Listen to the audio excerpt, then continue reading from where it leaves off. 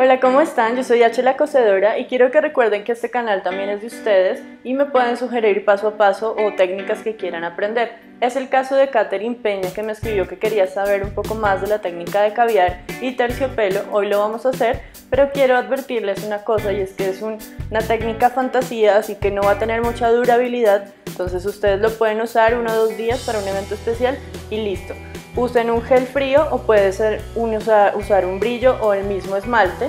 No usen un, pegante porque si no van a tener un poco problemas, ¿listo? Así que vamos al taller.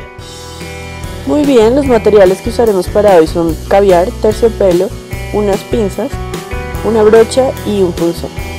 Aplicaremos con gel frío, ojalá, pero si no tienen puede ser con un brillo cualquiera.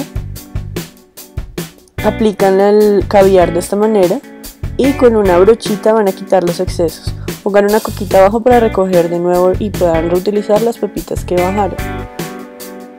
Lo mismo vamos a hacer con el terciopelo, pero aquí me voy a ayudar de unas pinzas.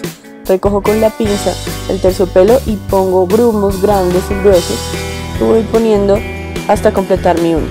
Ahora voy a darle topecitos y con una brochita seca voy a limpiar alrededor y hago una presión sobre, la, sobre el terciopelo para que se fije un poco más.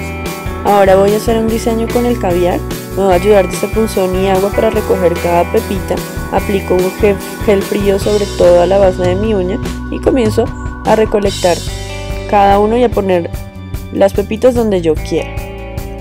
También voy a hacer un diseño con el terciopelo, aquí con una brocha y el gel, haré un corazón Pongo el grumo que les dije y con una brochita voy a limpiar para que quede solamente el diseño donde yo puse el gel. Repito el proceso del caviar, acomodo con mi otro dedo y listo.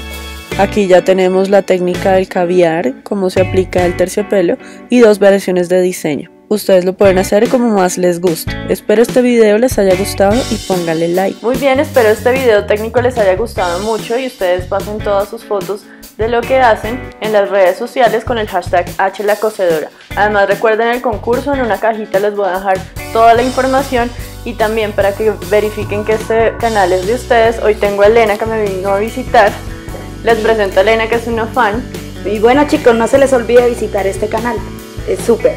Bueno, muchos besos, muchos abrazos y nos vemos pronto. Gracias.